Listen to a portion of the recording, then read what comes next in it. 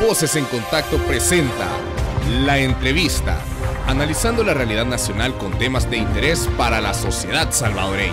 La entrevista de Voces en Contacto.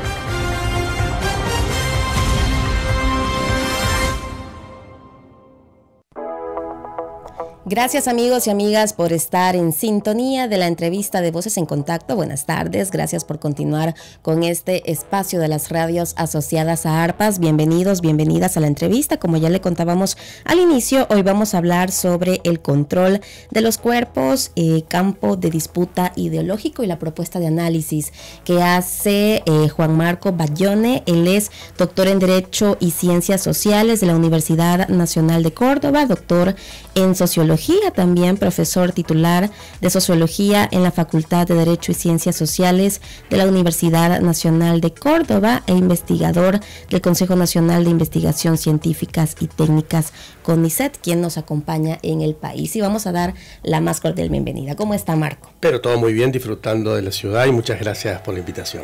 Bien, este tema que sigue siendo uno de los grandes tabús, uno de los grandes eh, temas de discusión, en, no solamente en El Salvador, sino todo, en todos nuestros países de América Latina, es sin duda eh, una de las tantas deudas también que hay por parte de los estados. Me gustaría que iniciáramos hablando un poco, eh, partiendo de conceptos básicos, cómo entender nuestros cuerpos, cómo entender estos territorios que, a los que se nos asignan derechos humanos, pero que no todos son cumplidos. Sí, sin dudas, como vos lo, acabas de decir, es una de las asignaturas de nuestra democracia. O sea, los cuerpos siempre han estado regulados, regulados por normas morales, por normas legales, y las capacidades de entender la libertad, el deseo, el pluralismo y la diversidad siempre han sido muy restringidas en nuestros países, sobre todo por el impacto histórico que la Iglesia Católica ha tenido sobre el Estado y sobre los sistemas legales. Pero uno de los momentos que venimos atravesando ya hace un tiempo largo es justamente el impacto de los movimientos feministas y los movimientos LGBTI, que han puesto en la arena pública la necesidad de repensar las formas de regular nuestros cuerpos, la forma de repensarnos como cuerpos sexuados. Y eso ha generado, creo, una de las políticas más importantes, más desafiantes y más resistidas, que es democratizar las formas de regulación de nuestros cuerpos. Creo que estamos atravesando un momento único que tiene marchas y contramarchas, pero del cual yo creo, por suerte, no hay retorno en la revolución iniciada por estos movimientos sociales. ¿Y cómo pensar eh, esta revolución en sociedades tan conservadoras como las que tenemos? Justamente esto ha sido el impacto acumulado de los movimientos a los que hacía referencia, el impacto acumulado de, en primer lugar, poner en lo público aquello que quedaba en lo privado, en lo secreto, aquello de lo que no hablábamos. Siempre las democracias, hasta el impacto de estos movimientos, habían asumido que las relaciones de género, que las decisiones sexuales, eran parte de la arena privada. Entonces de eso, eso no se discutía, como si lo privado quedara fuera de lo político. Estos movimientos después de años de trabajo muy solitario, muy estigmatizado, lograron hacernos discutir qué pasa en esa esfera secreta y privada. Y nos hicieron evidente las relaciones de poder que atraviesan ese lugar y la necesidad de discutir, de debatir y de repensar políticas públicas en relación al cuerpo. Aquello que no mirábamos, por ejemplo, como la violencia de género, tenemos en claro ahora que es uno de los flagelos más relevantes en nuestros países. Entonces, me parece que el primer trabajo de estos movimientos, que no es poca cosa, es haber logrado impactar sobre este marco conservador que estructuraban los estados y las iglesias y hacernos ver que el género, que la sexualidad son dimensiones políticas. Tenemos que debatir, tenemos que discutir, tenemos que pensar marcos legales que nos permitan entender los flagelos de violencia, las relaciones de poder, por un lado, pero también marcos legales que nos ayuden a vidas más felices, más plenas, a entender que el deseo es parte de nuestras vidas cotidianas y de la felicidad. Entonces, sea por el lado negativo, cuando digo negativo me refiero, sea por el lado de regular aquellas dimensiones violatorias de derechos, como son los abusos, como es la violencia, o por el lado positivo, garantizar que la gente pueda acceder a disfrutar de una vida sexual plena, libre, autónoma, eh, la sexualidad y el género se han transformado, por suerte, en dos dimensiones del debate público. No significa esto que nos vaya bien en todos lados y en todas las instancias. Hablemos, usted ya mencionaba las relaciones de poder y un poco el tema de los moralismos, eh, cómo también inciden en, en, este tema. Y eso es central, justamente, porque los moralismos son sistemas de regulaciones que vienen de entramados a veces médicos, científicos, religiosos, que naturalizan nuestros cuerpos, que lo biologizan, como si fuéramos biología, como, como defiende la Iglesia hasta el día de hoy, la Iglesia Católica, como si el objetivo de la sexualidad fuera la reproducción, como si la gente tuviera que legitimar sus decisiones sexuales basadas o basados en las potencialidades reproductivas. Pero ¿qué hace? Esos moralismos que naturalizan una forma de orden sexual, lo, lo que terminan haciendo es esconder esas relaciones de poder de las que estamos conversando. Nos, nos, impiden ver muchas veces el sistema patriarcal, la misoginia, la heteronormatividad que caracteriza. O sea, bajo esos nombres, cada uno tiene sus especificidades, a lo que hago cuenta es sistemas en los cuales los cuerpos se ordenan en base a órdenes jerárquicos. En nuestras sociedades, raza, clase, género, identidad sexual son estructuradores de las formas en que vivimos, pero también son maneras en las cuales se discriminan ciertos cuerpos, se apartan ciertas decisiones. En nuestras sociedades no es lo mismo ser hombre que ser mujer, no es lo mismo ser una persona heterosexual que ser parte de la diversidad sexual, no es lo mismo ser una persona trans. Entonces la moralina, esas discusiones morales de ciertas jerarquías religiosas, lo que terminan realizando no es solo ofrecer un conjunto de normas muy restrictivas, sino también, y esto creo mucho más peligroso, esconder, naturalizar las violencias que nos, por los cuales nos conectamos en la sociedad. La, perspectiva tradicional de la Iglesia Católica de la complementariedad entre el hombre y la mujer. Hay detrás de eso que no suena tan, tan riesgoso, ese tipo de vínculos suelen esconder, ese tipo de teorías suelen esconder los, los, las violencias que se dan al interior de la familia. Y el derecho ha sido receptor de todo esto.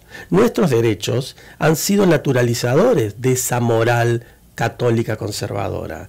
En Argentina y probablemente aquí, no, no estoy seguro, hasta hace un par de décadas todavía se exigía el débito conyugal. O sea, la mujer le debía al hombre la relación sexual. En Argentina, hasta hace dos, décadas y pico, todavía la violación al interior del matrimonio no era posible como delito. O sea, todo eso estuvo naturalizado por ese rol que también tiene el derecho de estigmatizar. La homosexualidad estuvo criminalizada de formas distintas y todavía sigue en algunos contextos donde se criminaliza. Entonces, creo que estamos atravesando una nueva etapa de ese debate, que es discutir esa moral sexual hegemónica desde nuevas propuestas legales que permitan no solo garantizar derechos, sino, creo y más importante, desmontar esas relaciones de poder. ¿Cómo atraviesa la institucionalidad de los estados estas visiones conservadoras, moralistas que usted ya nos ha explicado? Justamente como hablábamos al principio, o sea, nuestros estados, la historia de nuestra región está tan signada por la relación entre Estado e Iglesia, que sin duda la construcción de nuestros estados-naciones ha estado impregnada por la moral católica. El Estado-nación siglo XIX, siglo XX, se conforman como naciones católicas, o sea, en nuestros países ser argentino, ser salvadoreño y ser católico eran casi sinónimos, o sea, la idea de que se podía no ser religioso o se podía ser de otras religiones es un fenómeno de las últimas décadas, de un pluralismo religioso.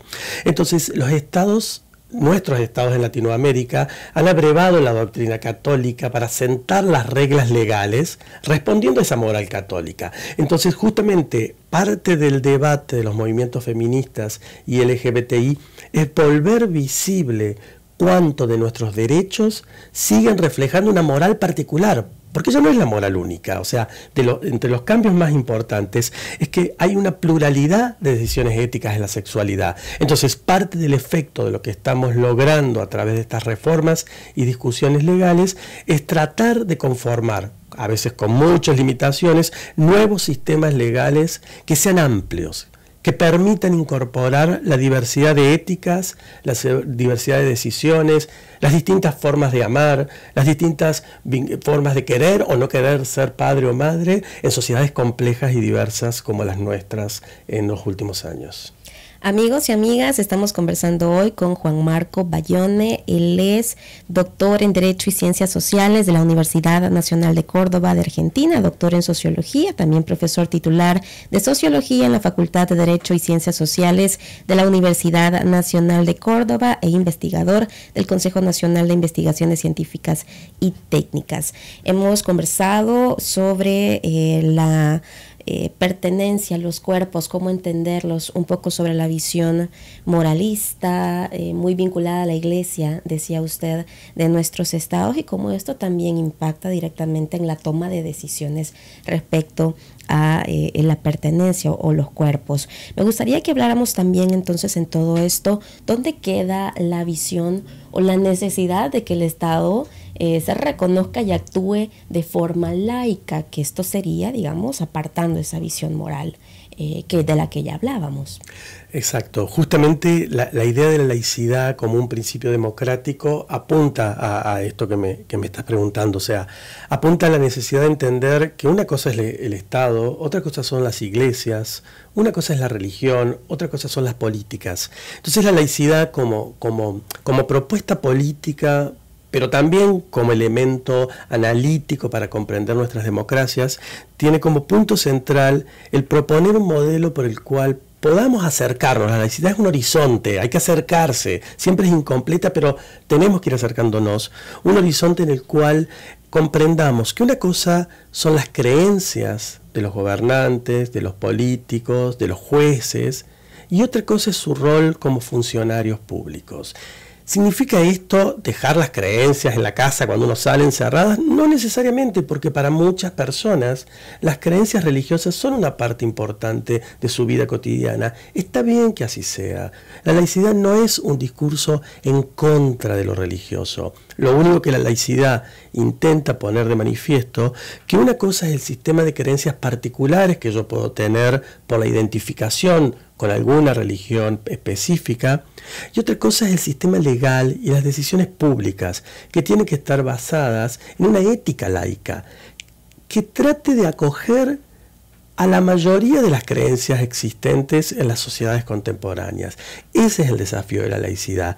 No es estar en contra de lo religioso, sino ofrecer un espacio de neutralidad, pero amplio, para que la mayoría de las religiones de las personas que son creyentes, pero también de los no creyentes, encuentren en ese conjunto de reglas y políticas públicas una de reglas y políticas que son justas a sus creencias y a sus decisiones.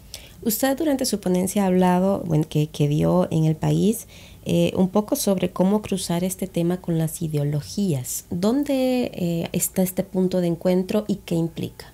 Sí, uno, una de las formas en que conversamos de ese tema tiene que ver con lo que ha crecido la denuncia hacia los movimientos feministas y LGBTI como ser parte de una ideología de género, un concepto que cada vez se está usando más, como si la propuesta de nuestros movimientos fueran pura ideología y fueran pura mentira. Y eso me parece que es una de las cosas que tenemos que aprender a desmontar, o sea, los movimientos neoconservadores o conservadores religiosos, como se les quiera llamar, están asumiendo que ellos tienen una verdad sobre la naturaleza y el resto de las posturas es ideológica. Esta tensión entre naturaleza e ideología es una construcción falsa. Todas las posiciones tienen elementos ideológicos y tienen elementos de apelar a verdades. El tema es cuando un sector se cree el dueño de la verdad, el dueño de la naturaleza, el dueño de la biología y considera que el sector del frente es pura ideología o pura mentira. Entonces me parece que lo que intentamos hacer en la presentación y lo que me parece que es importante entender es que en las sociedades contemporáneas lo que tenemos que repensar es qué entendemos por naturaleza. La naturaleza no es algo fijo, inamovible, que estuvo siempre ahí. La naturaleza es parte también de un aspecto de construcción social. Vamos construyendo que entendemos por los cuerpos, por la naturaleza, por la biología, por la reproducción. La propia Iglesia Católica, su postura sobre el aborto no siempre fue la misma. Hasta el siglo XIX, principio del siglo XX, la iglesia por varios siglos habló de la hominización tardía. Para la iglesia el alma llegaba un tiempo después de la concepción. Entonces, estas posturas que a uno, uno ahora escucha tan dogmáticas, tan indiscutibles, que no hay duda que la vida comienza en el momento 000 de la concepción, es una construcción social. Esto no quiere decir que la vida comience en el momento 4. Lo que significa esto es que estamos discutiendo estas cuestiones y la discusión significa que son construcciones que nosotros, desde las ciencias, desde el derecho, desde el activismo político, vamos poniendo en tensión. Y lo importante es entender que no hay un grupo que tiene la verdad y el otro es la mentira, uno tiene la naturaleza y el otro es pura ideología, sino que es un debate democrático y como todo debate democrático y público, precisa de argumentos, precisa de escucharnos, precisa de intercambiar y precisa finalmente, creo yo, porque estoy convencido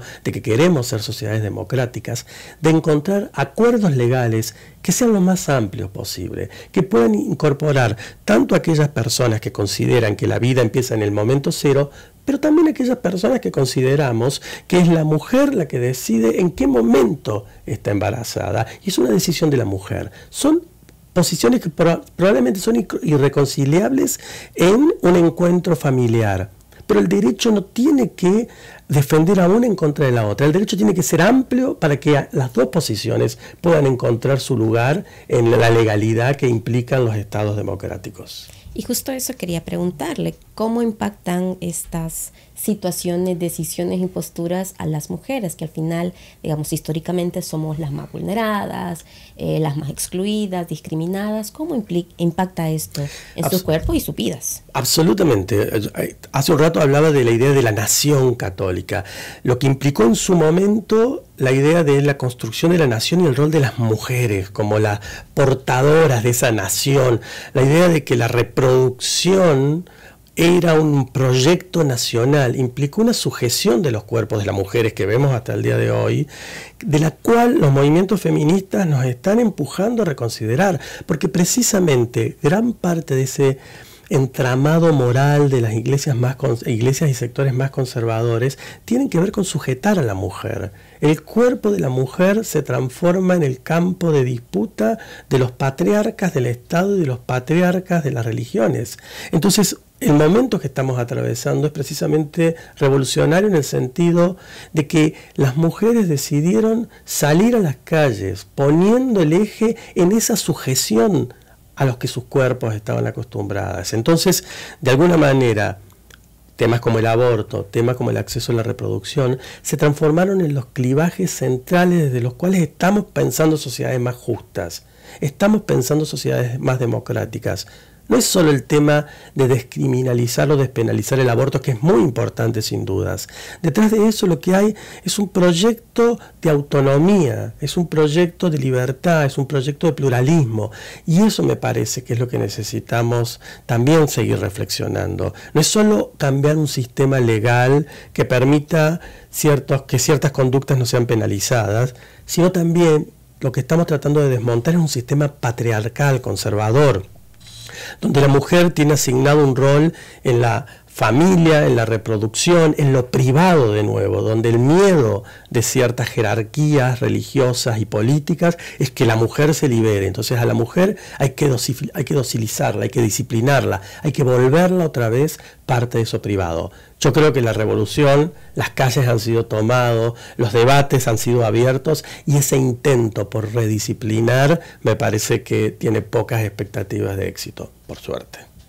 Cómo enfrentar o cómo hacer frente a, toda esta, digamos, eh, ola, no solamente de la institucionalidad atravesada por los moralismos, el, el, sistema patriarcal, sino también esta construcción que tiene la sociedad, porque eh, sin duda hay muchos rechazos a estas ideas de romper y abrir, digamos, un poco más la mente y los espacios a lo diverso. ¿Qué hacer frente a eso? Sin dudas es, muy difícil y me, encantaría tener como el recetario. solo tengo como destellos de cosas que he visto en distintos países. Es una tarea difícil. En primer lugar, lo que estos movimientos han logrado poniendo en agenda pública, como decíamos al principio, es central. Que la gente escuche, que la gente vea, que la gente no tema. O sea, que, que lo que se está pidiendo, no es que se extinga la especie humana, no se están pidiendo cuestiones que están fuera de lo que pasa, lo que se está demandando es que se vea la desigualdad, que se vea esa exclusión. Eso por un lado. Por otro lado, el Estado laico, la laicidad para las discusiones políticas sigue siendo importante. Poder, poder entender como sociedades que no se está pidiendo que se vaya en contra de las iglesias y la creencia. Está muy bien que la gente crea en su Dios, que la gente respete, que la gente tenga esos sentimientos religiosos que son muchas veces muy positivos. Muchas veces, por lo menos la religión como yo las entiendo, son mirar al prójimo, son amor al otro, son comprender, es ponerse en el lugar del otro.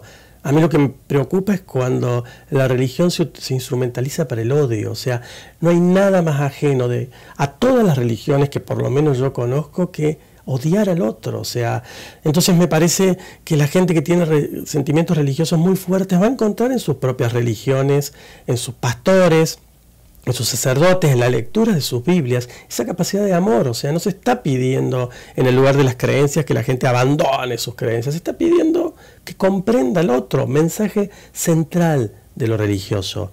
La laicidad a nivel de las políticas públicas es otra dimensión muy importante. O sea, que entendamos y que aprendamos y que podamos ejercer la política como algo distinto a lo religioso. Un gobernador no llega ahí solo para defender un sistema de creencias morales particular. Un gobernante llega a ese lugar para tratar de establecer políticas públicas que ayuden a su sociedad a estar en la mejor forma posible, en la salud, en la vivienda, en el acceso a los derechos sociales básicos. Entonces me parece que la laicidad es otro camino importante para esa apertura. Entonces creo que es una combinación, una combinación de cambios culturales, entender que cuando una pareja del mismo sexo pide ser reconocido en su vínculo afectivo, está pidiendo un reconocimiento no solo del derecho, sino le está pidiendo a la sociedad que lo reconozca, que lo acompañe. Cuando una mujer pide no ser criminalizada por la interrupción de un embarazo, no solo está pidiendo un eh, derecho, también está pidiendo que la sociedad comprenda que estas son decisiones que siguen pasando, porque, porque eso es lo paradójico de nuestros momentos.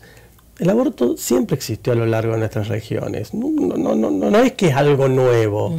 Lo que es nuevo es el debate público para que comprendamos, colaboremos como sociedades en las decisiones de las personas respecto a sus saludes reproductivas.